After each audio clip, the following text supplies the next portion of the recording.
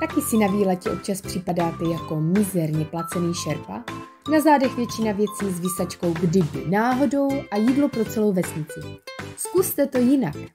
E-shop pro malé dobrodruhy vám pošle přímo na trasu outdoorové oblečení, vybavení nebo jídlo do zásilkovny nebo uložních boxů. My si poslali do Z-boxu v Rýmařově samé dobroty. Express menu, pomazánku, no a tady už dobrodružná sváča z jeseníky v pozadí. Ale o tom zase příště. Výlety čekají.